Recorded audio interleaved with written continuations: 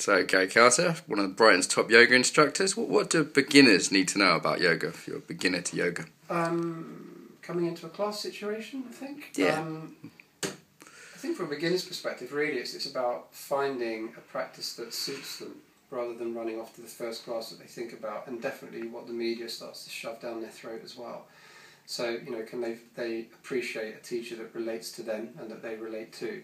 Something that I always consider with this is that the teacher has got a bunch of students and the students have got individual relationships with that teacher. So it's not that everyone's making the same shape the same way all the way down the line because then it just becomes about the teacher, Mm. not about the student. So um, you know that that level level of safety, um, and you know what's the reason why they want to go and do their practice? Why do they want to go and do yoga? Is it the fact they just want to become stretchy?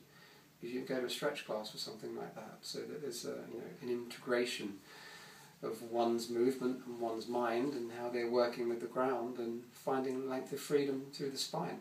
And I guess there's different kinds of yoga for different Yeah, uh, totally. I mean, aims people might have. A lot of people know, I've had a centre. I had had a centre in Brighton for over twenty years, and you know I had reasonable relationships with the other centres that I knew around at that particular time. And some people would come, and this wasn't the work for them. And I'm not going to be evangelical and shove the work of Vanda Scaravelli down somebody's throat. It's that it's just not for them. Actually, their their body type and the way that they're thinking right now. There's a fantastic Ashtanga teacher down the road, and they're, they're working in a really fantastic way. Go and work with that person. Or actually, I think you need to go to the gym and go and train there. You know, or you know, try out this Tai Chi teacher because that's what's going to work for you.